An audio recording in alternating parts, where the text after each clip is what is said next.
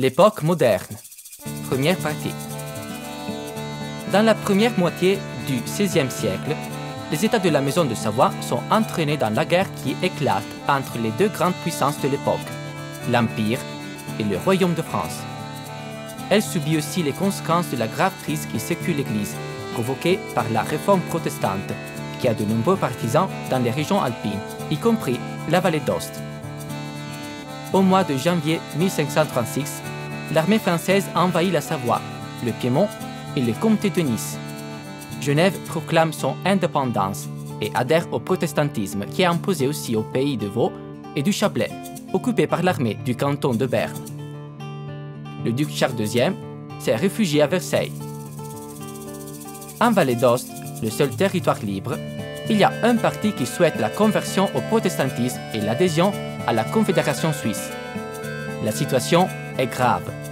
Le bailli Mathieu de Lostan convoque alors l'Assemblée des États généraux, formée par les représentants de la noblesse, du clergé et des communautés. Cette assemblée est l'organe qui a comme tâche essentielle de déterminer le montant du donatif, c'est-à-dire l'impôt que les Valdotins s'engagent à payer au duc sur sa requête et qui doit être le fruit d'un accord, ainsi qu'il est prévu par les anciennes chartes de franchise. La réunion se tient à Ost le 29 février 1536 et cette fois-ci, les États sont appelés à prendre une importante décision politique. Le pays demande en effet si on est disposé à conserver la foi catholique et la fidélité au duc de Savoie et à défendre militairement la région. L'Assemblée répond positivement, les protestants sont exilés et se réfugient dans les cantons suisses. Le 7 mars suivant, l'Assemblée élit un nouvel organe qui doit gouverner le duché d'Ost dans cette situation d'émergence, le Conseil des commis. On pourvoit à former une milice armée et à signer un traité de neutralité avec la France pour éviter le danger d'invasion. La protestante e sin dai primi anni venti del 1500, alcuni membri del clero e della nobiltà valdostana aderirono alle idee riformatrici. In seguito poi ci fu in valle una vera e propria esplosione. Vasti stati di popolazione di alcune parrocchie aderirono al protestantesimo soprattutto a Tournon e Antei, ma anche a Châtillon, Saint-Vincent e Brusson. Valle presero a circolare testi luterani, tanto che più volte per molti anni l'autorità ecclesiastica dovette proibirne la vendita e la lettura. Non si può dire che i valdostani negli anni venti del Cinquecento fossero mossi da motivi politici, in particolare dal desiderio di entrare nella Confederazione svizzera. Questo si verificò molto più tardi, dopo l'adesione della città di Ginevra al protestantesimo. A proposito della scelta protestante di Ginevra e delle ripercussioni in Valle d'Aosta, ricordiamo la significativa testimonianza di un graffito del castello di Sogne, che dice Le 28 octobre 1535, la messe a resté de dire à Genève. Il 28 febbraio 1536 il balivo Mathieu de Lostin radunò d'urgenza l'assemblea dei tre stati, cioè dei rappresentanti della nobiltà, del clero e del popolo. L'incontro si tenne nel giardino del convento di San Francesco e i partecipanti furono chiamati a votare i tre punti di un giuramento, fedeltà alla religione cattolica, fedeltà alla casa sabauda e infine fedeltà alla patria valdostana. Il verbale della riunione dice che i 125 partecipanti votarono all'unanimità il documento. È necessario precisare che all'Assemblea, nelle prime due sedute, non sappiamo perché, non prese parte il clero. In questa stessa Assemblea, secondo una leggenda creata posteriormente, si sarebbe stabilito di cacciare l'eresiarca Calvino, la cui presenza in valle però non è mai stata accertata. Vari dati confermano che non fu facile debellare il movimento riformatore neanche negli anni seguenti sotto l'episcopato del pur zelante e controriformista vescovo Pietro Gazzino. Nel 1557 i roghi degli eretici ancora ardevano. Ad Aosta si è a conoscenza di quello acceso per Niccolò Sartoris, appunto nel 1557. Il teologo piemontese era giunto ad Aosta ed aveva professato pubblicamente la sua fede evangelica. Per questo fu processato, torturato ed arso vivo.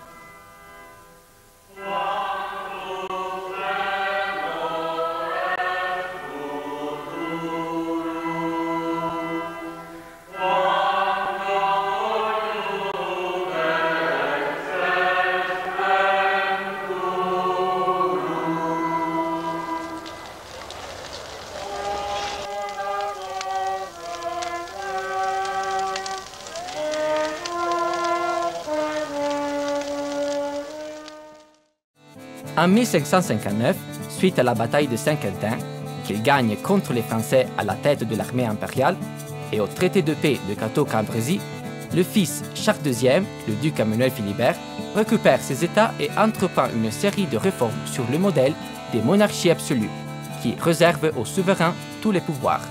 Il fait cependant une exception en faveur des Valdotins. Il confirme le respect de franchise et les compétences du Conseil de commis. Parmi les réformes d'Emmanuel Philibert, qui visent à moderniser l'administration, l'une des plus importantes concerne la langue.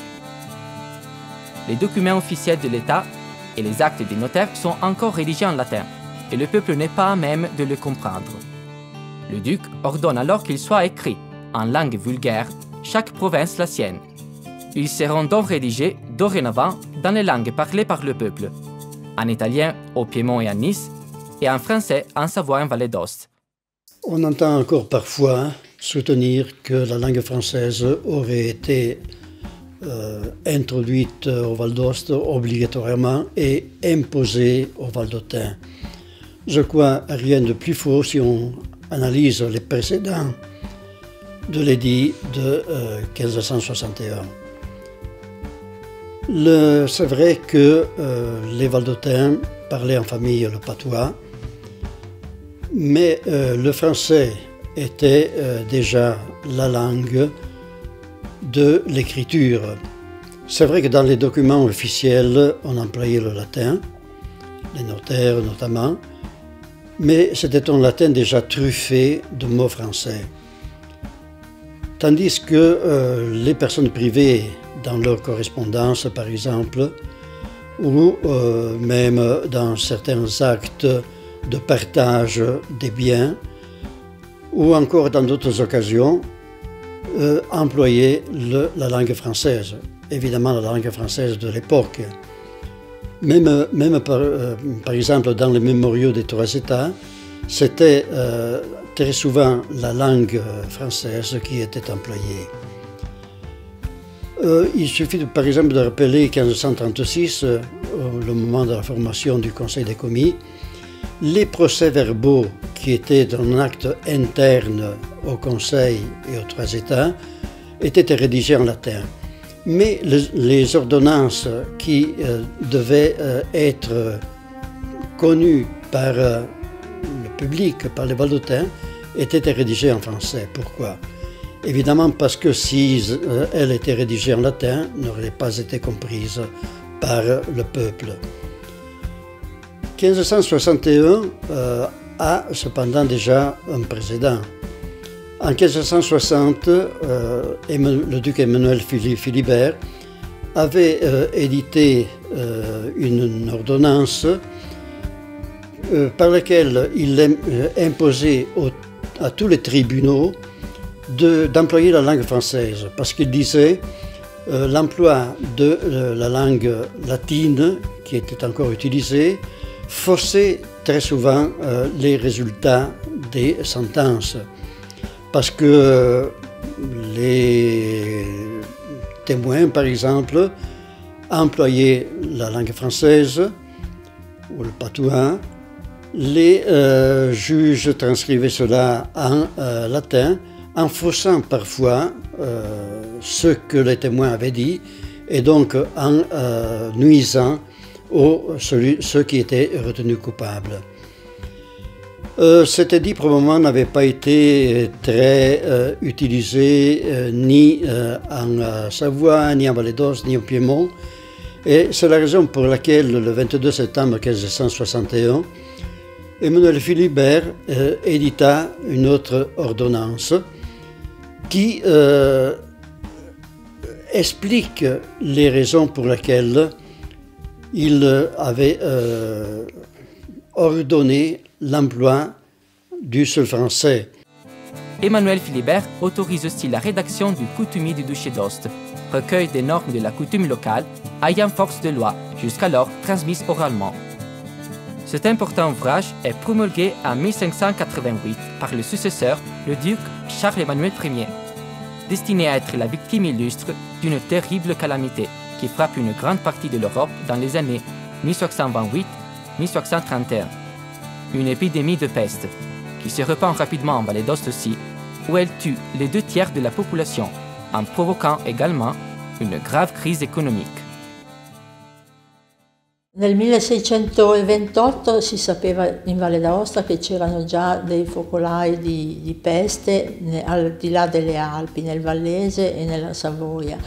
Furono chiuse, per modo di dire, le, le, le frontiere, erano ancora episodi limitati e, e non c'era ancora un vero e proprio allarme. Un primo episodio destò l'allarme dei, dei governanti e delle, delle autorità locali fu quello del, che nel 1630 vide la morte di due persone, una donna e il suo bambino a Donnas. Questi, questi due morti improvvisi eh, erano stati considerati un allarme proprio perché sul loro corpo si, trovavano, i, si erano trovati i bubboni della peste. Allora, scattò l'allarme, nel frattempo iniziarono a verificarsi dei casi di peste anche in, altri paesi della Bassa Valle, a Perlo soprattutto, e le autorità eh, sanitarie eh, cercarono di rimediare in questo modo, non facendo più comunicare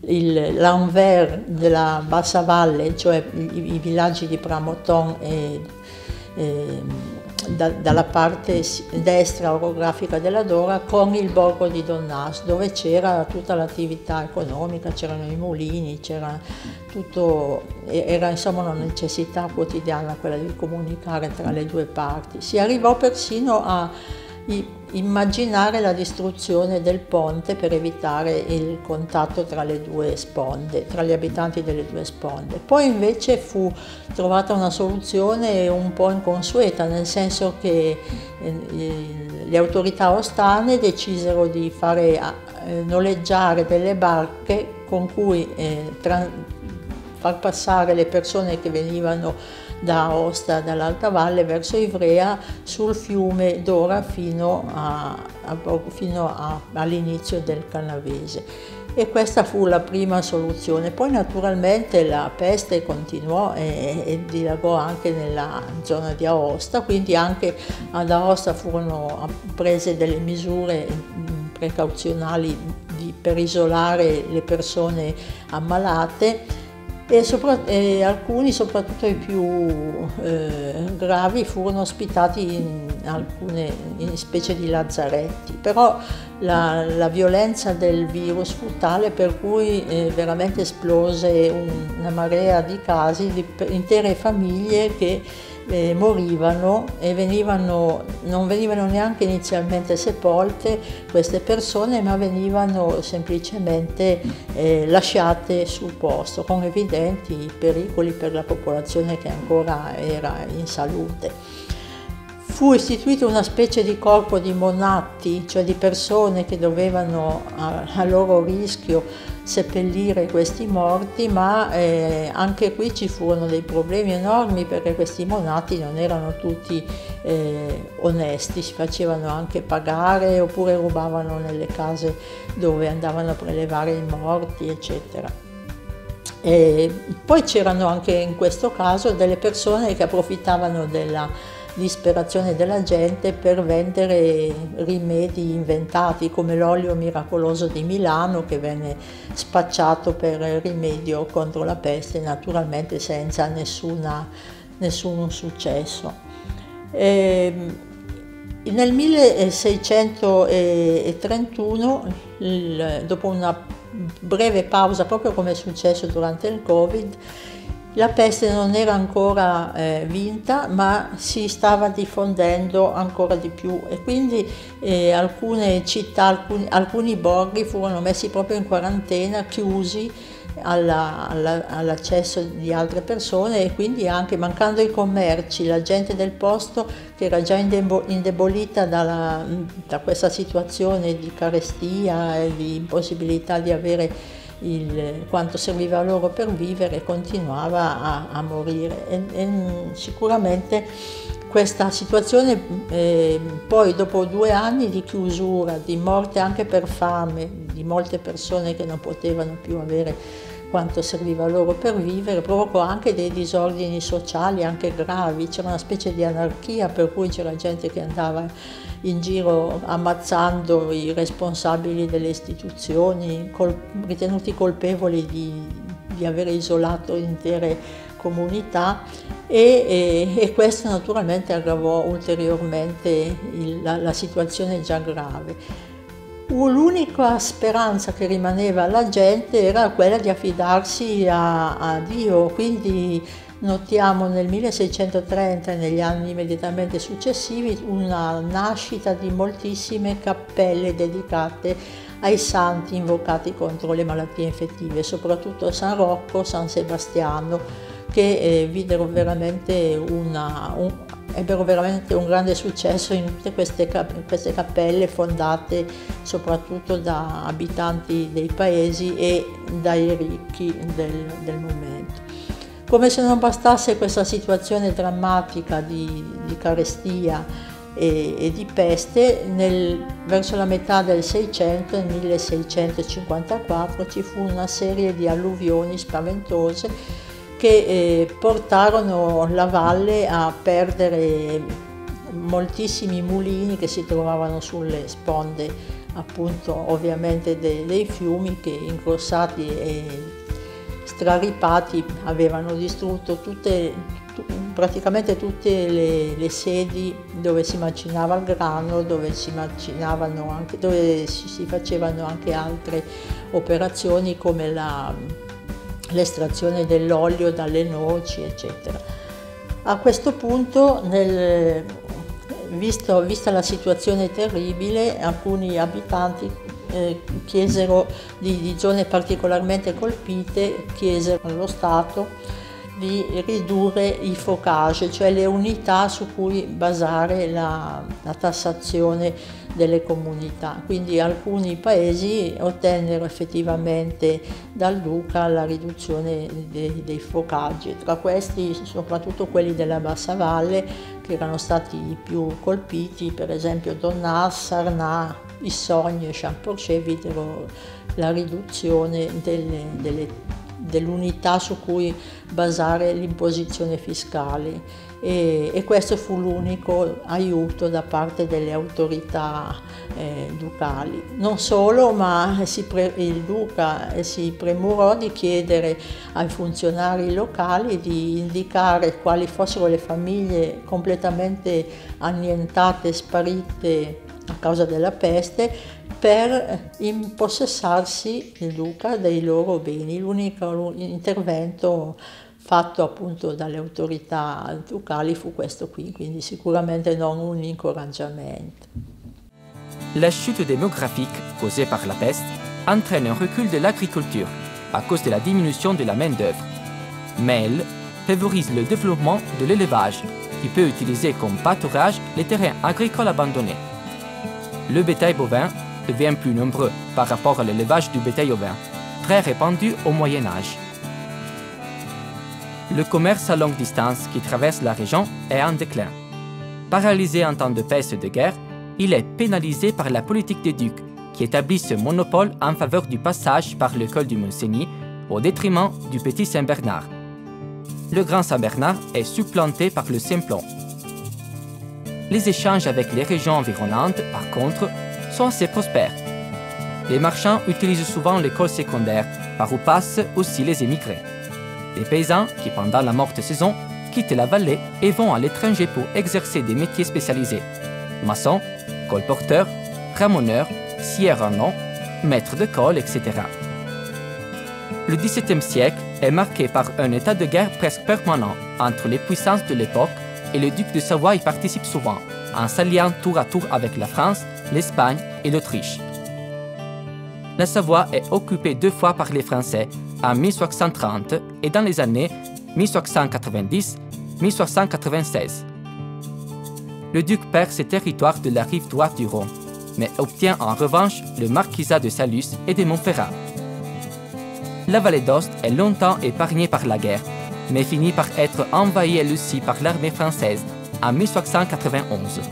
Les campagnes sont ravagées, le bétail volé ou tué, les villages saccagés ou incendiés, les habitants soumis aux violences de la troupe et au paiement de lourdes rançons. Les guerres se poursuivent au début du XVIIIe siècle aussi.